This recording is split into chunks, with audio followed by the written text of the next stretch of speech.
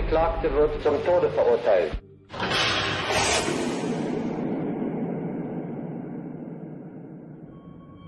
Hinter diesen Mauern verbarg sich eines der dunkelsten Geheimnisse der DDR. Im Namen des Volkes wurde hier getötet.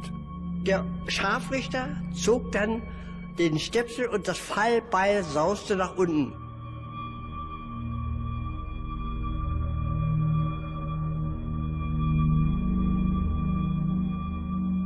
Mitten im Herzen der belebten Leipziger Südvorstadt befand sich ab 1960 die zentrale Hinrichtungsstätte der DDR.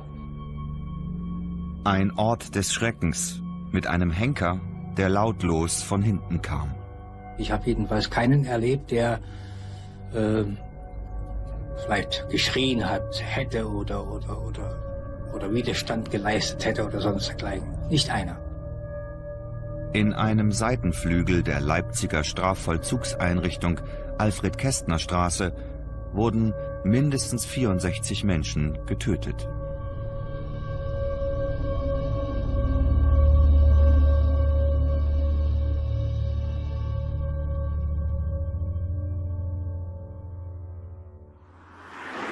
Auch früher belebt und beliebt die Leipziger Südvorstadt. Zwischen Gründerzeithäusern, Kneipen und Geschäften lebten die Menschen ihr Leben und gingen ihren Alltagsgeschäften nach. Dass sich gerade einmal zwei Straßenbahnstationen vom Leipziger Zentrum entfernt in einem Nebentrakt des damaligen Kreisgerichts Leipzig Süd die zentrale Hinrichtungsstätte der DDR befand, wusste niemand. Draußen ging das Leben weiter, oft nur eine Armeslänge vom Ort des Schreckens entfernt. Von den Hinrichtungen selber habe ich gar nichts mitbekommen. Es muss ja geheim gewesen sein, die ganze Angelegenheit. Dass die Todesstrafe in Leipzig vollzogen worden ist, das hat keiner gewusst. Direkt hinter diesem kaputten Fenster lag der Aufenthaltsraum des Henkers. Er und seine zwei Gehilfen warten am späten Abend des 11. Juli 1960 auf einen Gefangenentransport. Der 29-jährige Manfred Smolka soll enthauptet werden.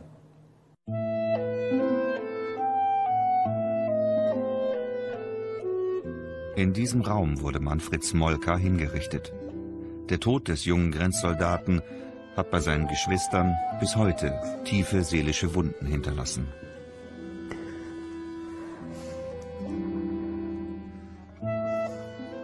Ich kann keine Gewalt im Fernsehen sehen. Ich könnte mir nie einen Krimi angucken, wo Mord und Totschlag statt. Kann ich nicht. Das lässt uns auch bis heute nicht los, niemand von uns. Der Vater verschollen bringt Manfred Smolka nach dem Krieg seine Mutter und seine jüngeren Geschwister durch. Als Fünfjähriger habe ich ihn als vielleicht als schon von der Ausstrahlung her als mehr wie als mein Vater angesehen. Und so habe ich mich auch ihm gegenüber verhalten, immer ehrfurchtsvoll. 1948 verpflichtet sich Manfred Smolka bei der Grenzpolizei, steigt schnell zum Kompaniechef auf. Doch am fünften Jahrestag des 17. Juni hat er Ärger mit seinen Vorgesetzten. Ich denke, das war wirklich Ursache, diese Befehle. Er sollte die Grenze absichern, sollte Befehl weitergeben, was er wohl nicht getan hat. Es hieß, dass er den Bauern erlaubt hat, an diesem Tag die Felder zu bestellen. Und es ist halt nicht erlaubt gewesen. Manfred Smolka wird degradiert und quittiert im Oktober 1958 den Dienst. Zwei Wochen später flieht er in den Westen. Die grüne Grenze ist in Thüringen vielerorts kaum mehr als ein Weidezaun. Seine Familie will Manfred Smolka später nachholen. Doch die Stasi kommt dahinter und entwickelt einen hinterhältigen Plan, den Operativvorgang Verräter. Ein ehemaliger Kollege von Manfred Smolka gibt vor, der Familie bei der Flucht zu helfen. Später will der Stasi-Spitzel nicht gewusst haben, dass er Manfred Smolka geradewegs in den Tod getrieben hat.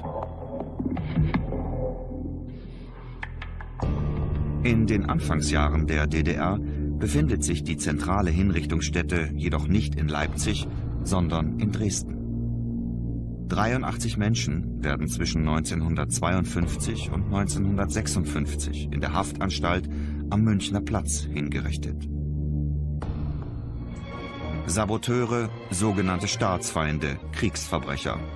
Zum Teil nach großen Schauprozessen. Das Urteil lautete Todesstrafe. Doch dann rechnet der sowjetische Generalsekretär Khrushchev mit Stalin ab und erklärt, wie grausam der Diktator mit politischen Gegnern verfahren war. Politisches Tauwetter setzt ein. Die DDR setzt die Todesstrafe für kurze Zeit aus. 1957 wird die Hinrichtungsstätte in Dresden zur antifaschistischen Mahn- und Gedenkstätte. Justizministerin Hilde Benjamin stellt jedoch klar, wir können es uns nicht leisten, auf die Todesstrafe zu verzichten. Eine neue Hinrichtungsstätte musste her. Die Wahl fällt auf die Strafvollzugseinrichtung in der Leipziger Südvorstadt. Nirgendwo findet sich ein Hinweis darauf, warum die Wahl gerade auf Leipzig fiel. Vermutlich spielten einfach nur praktische Erwägungen eine Rolle. Denn seit Mitte der 50er Jahre stand die Wohnung des Hausmeisters in der Haftanstalt leer. Abgeschottet im Erdgeschoss bot sie sich in ihrer Unscheinbarkeit geradezu an. Wer aus der Hausmeisterwohnung heraustritt, hat den Blick frei auf den Innenhof der Strafvollzugsanstalt. Früher eine Welt für sich, mit Wirtschaftsgebäuden für Küche, Heizraum, Lager und Wäscherei. Im Gefängnis ist für rund 500 Gefangene Platz. Mörder, Raubmörder, Vergewaltiger. Aber auch minderschwere Jungs. Dass sich direkt ein Stockwerk unter ihnen, genau hier, die zentrale Hinrichtungsstätte befand, wusste keiner. Lediglich ein paar Umbauarbeiten sind nötig, damit niemand die staatlich verordneten Tötungen bemerkt. Zuerst werden die Fenster zum Innenhof zugemauert. Direkt hinter diesem Fenster findet Anfang 1960 die erste Hinrichtung statt. Ohne dass irgendjemand in der Strafvollzugseinrichtung etwas davon mitbekommen hätte.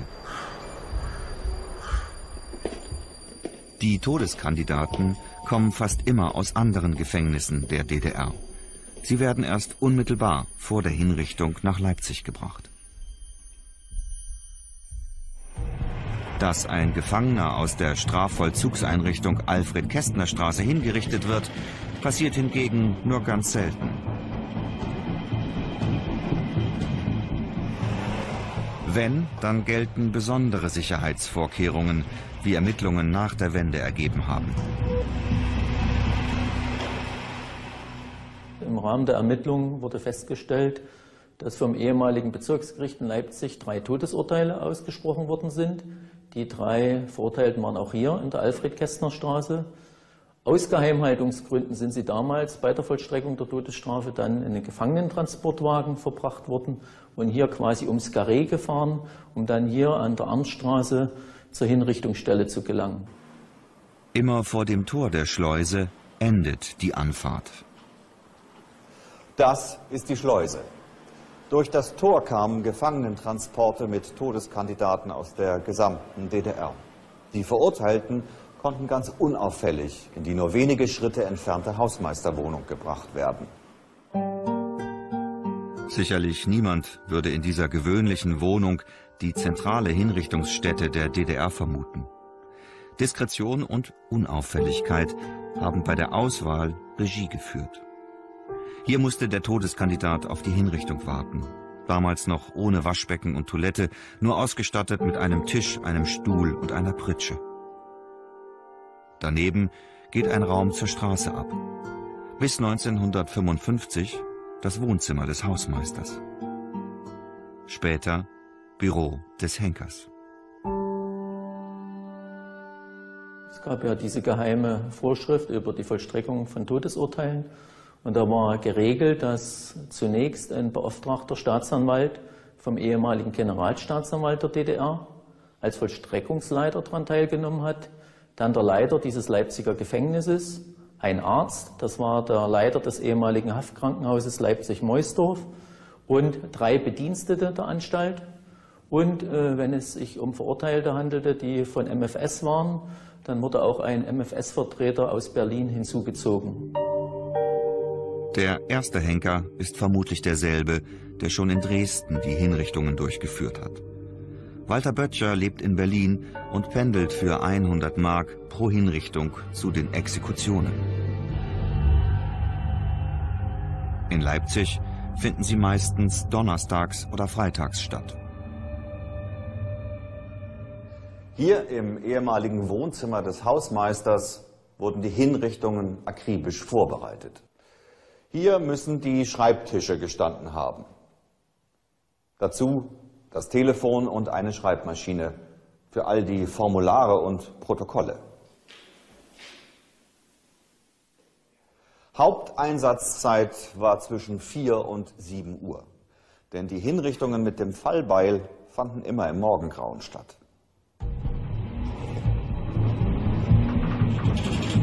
Und während im Büro schon die Formulare für die Hinrichtung vorbereitet werden, rollt durch das nächtliche Leipzig der Gefangenentransport mit Manfred Smolka.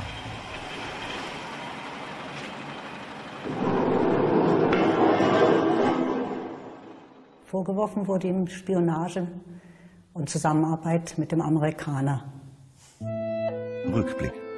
Nach seiner Flucht in den Westen will Manfred Smolka auch seine Familie von Thüringen nach Bayern holen. Doch die Flucht wird verraten. An der Grenze schnappt die Falle zu. Die Stasi hat Verhaftungskommandos in den Büschen postiert. Manfred Smolka wird angeschossen und, wie er vor Gericht betont, auf westdeutschem Gebiet verhaftet. Im Mai 1960 wird Manfred Smolka der Prozess gemacht. Vor Dutzenden von Offizieren soll an dem jungen Mann ein Exempel statuiert werden. Stasi-Minister Mielke persönlich gibt die Richtung vor.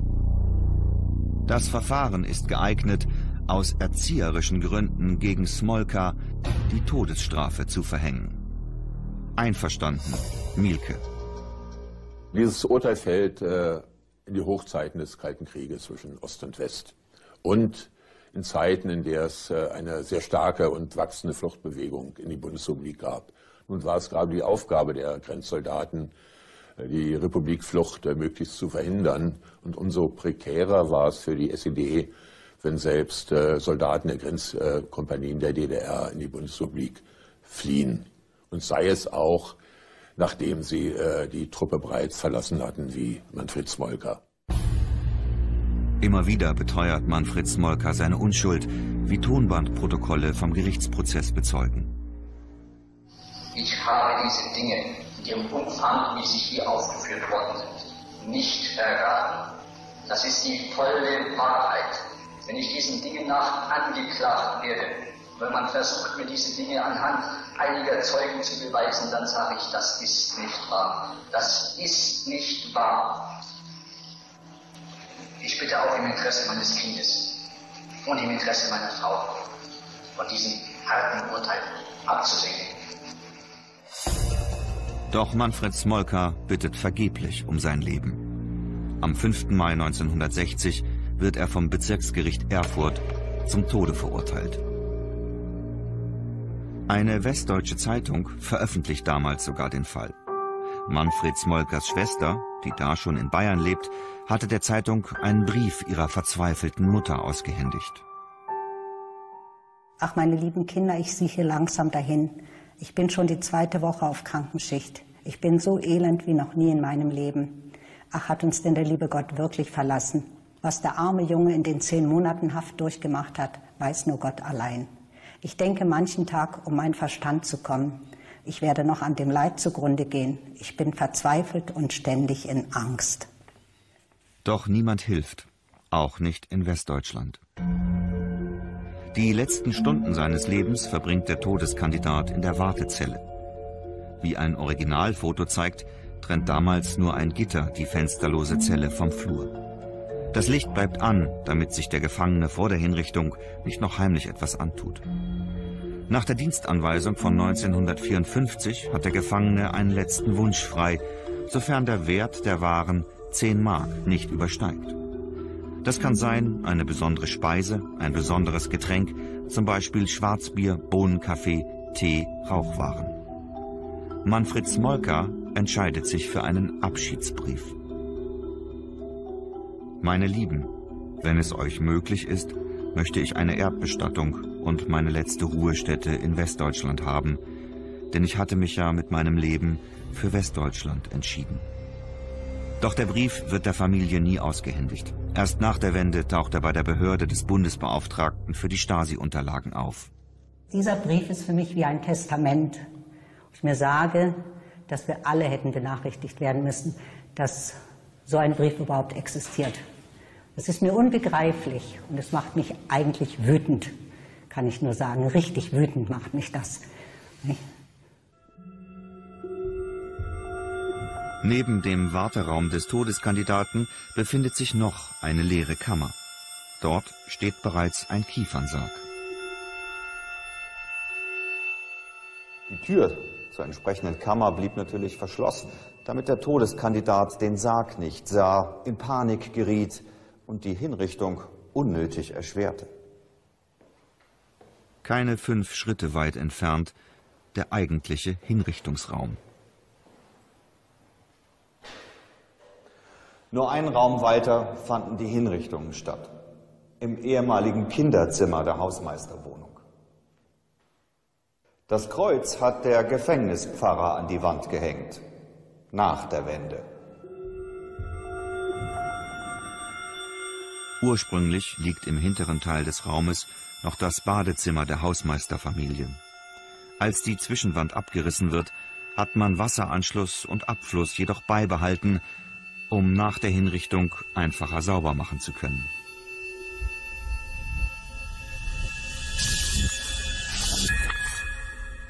Noch immer sieht man die Abdrücke der Guillotine. In der DDR heißt sie Fallschwertmaschine. Diese ist 2,32 Meter hoch, 500 Kilogramm schwer. Allein in Leipzig werden 34 Menschen mit solch einer Guillotine getötet. 15 Minuten vor der Hinrichtung, genau wie in der Dienstanweisung von 1954 vorgeschrieben, bindet der Henker dem Todeskandidaten die Arme an den Körper. Dann führt er ihn in den Hinrichtungsraum. Die eigentliche Hinrichtung läuft nach einem festen Ritual ab. Ein ehemaliger Volkspolizist, der bei den Exekutionen in Dresden dabei war, erinnert sich in dem Hinrichtungsraum, da war dann der Oberstaatsanwalt, der nochmal das Todesurteil dann aussprechen musste. Er sagte dann zum Beispiel, äh, der Kandidat, Sie sind zum Tode verurteilt, das Urteil wird jetzt vollstreckt. Und dann sagt er, in scharfen Worten, Scharfrichter, walten Sie Ihres Amtes. Dann haben die beiden, die Henkersknechte haben die Körper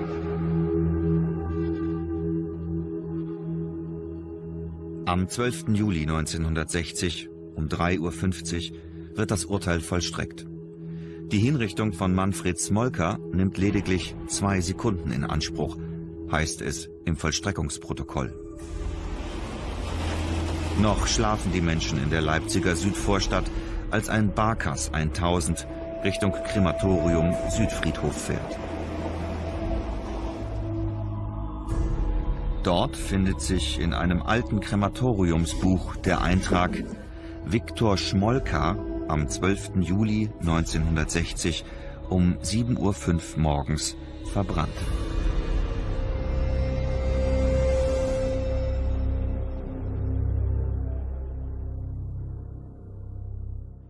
Sämtliche Maßnahmen im Zusammenhang mit der Vollstreckung der Todesstrafe waren streng geheim. Auch der Leichnam wurde auf den Südfriedhof überführt ohne Namen. Das heißt also, der Verbrennungsprozess wurde unter Aufsicht von zwei Vollzugsbediensteten dort durchgeführt, sodass auch kein Krematoriumsmitarbeiter dort Einsicht nehmen konnte in den Sarg. Äh, es wurden auch sämtliche Unterlagen verändert, insbesondere der Totenschein Und auch die Sterbeurkunde wiesen dann einen anderen Sterbeort aus als Leipzig zum Beispiel. Und es wurden auch Abschiedsbriefe nicht herausgegeben. Im Sterberegister von Manfred Smolka steht als Todesursache übrigens Herzinfarkt. Durch die Fälschung des Totenscheins wollte man auch die Spuren des barbarischen Justizmordes an Manfred Smolka verwischen. Doch 1993 wurde er als unschuldig rehabilitiert. Manfred Smolkas Mutter hat sich jedoch nie vom Tod ihres Sohnes erholt. Richtige Freude konnte sie nicht mehr empfinden. Es gab bei uns eigentlich keine richtigen Feiertage. An Geburtstagen von ihm wurde geweint. Weihnachten. Es war für sie, gesagt, sie konnte es einfach nicht vergessen und hat ihr Leid eigentlich mit ins Grab genommen. Anfang der 60er Jahre reicht schon Brandstiftung für ein Todesurteil aus. Bauer Predel zum Beispiel muss sterben, weil er Scheunen angesteckt hat.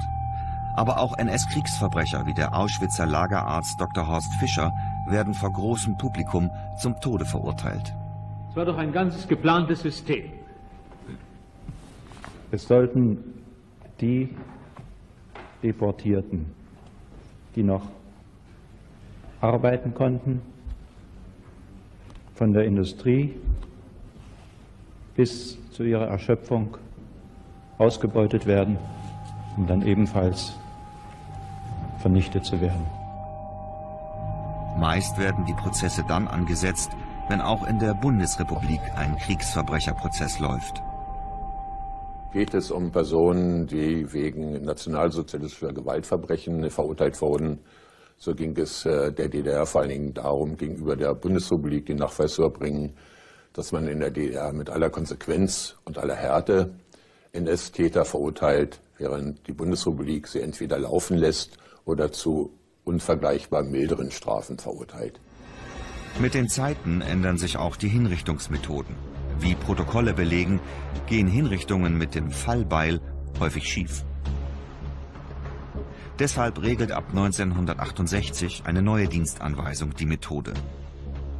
Ab jetzt erfolgt der Tod durch Erschießen. Es war in diesen Räumlichen so organisiert, dass der Verurteilte, nachdem ihm mitgeteilt wurde, dass das Todesurteil jetzt vollstreckt wird, in diesen Hinrichtungsraum geführt wurde. Hinter ihm stand der Todesschütze. Er hat zu diesem Zeitpunkt nicht damit gerechnet, dass durch einen Nahschuss mit einer Pistole P38 ihm ins Genick geschossen wird und damit also die Vollstreckung zu einem Zeitpunkt erfolgte, wo er noch nicht selber darauf vorbereitet war. Mit der neuen Vollstreckungsart muss auch ein neuer Henker her. Ein guter Schütze mit starken Nerven. Die Wahl fällt auf Hauptmann Hermann Lorenz, Abteilungsleiter in der Leipziger Strafvollzugseinrichtung und inoffizieller Mitarbeiter der Stasi. 200 Mark bekommt er für jede Hinrichtung. Es handelte sich um eine Aufgabe, die ich erhalten habe. Danach habe ich mich gerichtet und für Gefühle war da eigentlich nicht viel Platz. Nachweislich 29 Menschen erschießt Hermann Lorenz während seiner Dienstzeit. 1972 auch den sexuell verwirrten Erwin Hagedorn. Er hatte drei kleine Jungen getötet, war aber bei einem Teil seiner Taten selbst noch minderjährig. Aufgrund dessen, dass sich der Junge weigerte, meiner Aufforderung nachzukommen, stach ich zu. Der Angeklagte wird wegen mehrfachen vollendeten und vorbereiteten Mordes, teilweise in Tateinheit mit mehrfacher vollendeter und versuchter Nötigung zu sexuellen Handlungen und mehrfachen vollendeten und versuchten sexuellen Missbrauchs von Kindern zum Tode verurteilt. 1981 wird zum letzten Mal in Deutschland ein Mensch hingerichtet. Zu diesem Zeitpunkt war die Todesstrafe längst zum Staatsgeheimnis geworden. Seit 72 allerdings wurde konsequent äh, jedes Todesurteil und jede Hinrichtung verschwiegen. Der Hintergrund dafür ist, dass die DDR Vollmitglied der Vereinten Nationen werden wollte und die Vereinten Nationen hatten zur Ächtung der Todesstrafe aufgerufen. Am 26. Juni 1981 um 10.10 Uhr wird der abtrünnige Stasi-Offizier Dr. Werner Teske in Leipzig erschossen.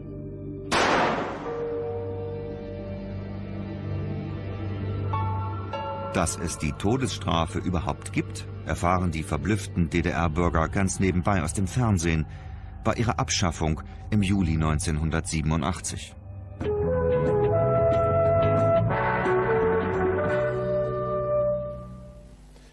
Abend, meine Damen und Herren, zur aktuellen Kamera.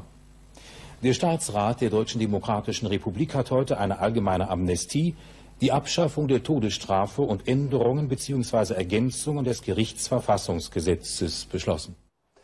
So endet auch dieses düstere Kapitel der DDR-Geschichte mit einem ihrer bestgehüteten Geheimnisse, der zentralen Hinrichtungsstätte. Nach der letzten Hinrichtung steht die Wohnung 15 Jahre lang leer, soll dann zum Küchenlager umgebaut werden. Erst das Leipziger Museum Runde Ecke erwirkt einen Denkmalstatus für den historischen Ort. Eine Tafel am Eingang erinnert an die 64 Menschen, die hier von 1960 bis 1981 hingerichtet worden sind. Nur zweimal im Jahr ist die Stätte für Besucher geöffnet. Doch das soll sich ändern. Im alten Gefangenentrakt will das Museum eine justizgeschichtliche Dauerausstellung zur Todesstrafe in der DDR einrichten, unabhängig von der Frage nach der Schuld des Einzelnen. Der Hinrichtungsort selbst soll authentisch erhalten bleiben. Die Todesstrafe war wie keine andere Strafart in der DDR der direkten Einflussnahme der SED-Spitze ausgesetzt. Es gab also im Prinzip in keinem einzigen Einzelfall einen rechtsstaatlichen Prozess und auf diesem Hintergrund sind die konkreten Straftaten eher zweitrangig. Es geht hier vor allen Dingen darum, darzustellen, wie mit der Todesstrafe speziell Unrecht sozusagen durchgesetzt wurde, eine Diktatur äh, ja, am Laufen gehalten wurde. Der Bund unterstützt das Projekt und hat finanzielle Hilfe zugesagt. Auch der Freistaat Sachsen muss seinen Teil dazu geben. Doch bisher bleibt es bei Lippenbekenntnissen. Die Stätte verfällt. Das Museum Runde Ecke wartet bisher vergeblich auf die versprochene Förderung. Die sächsische Staatsregierung hat vor über zehn Jahren beschlossen, diesen Ort als justizgeschichtlichen Erinnerungsort zu entwickeln. Wir haben im Auftrag ein entsprechendes Konzept entwickelt, was vom Bund für gut befunden worden ist, sodass die hälftige Finanzierung zugesagt ist. Nur der Freistaat gibt sein Geld bis heute nicht und da fühlen wir uns schon etwas sehr im Stich gelassen, denn diese Finanzierung ist zwingend notwendig, damit hier dieser Ort endlich auch vom weiteren Verfall bewahrt werden kann.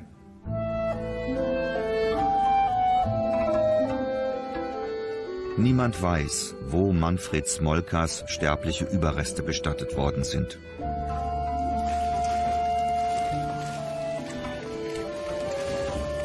Der Erinnerung nun bald einen würdigen Ort geben.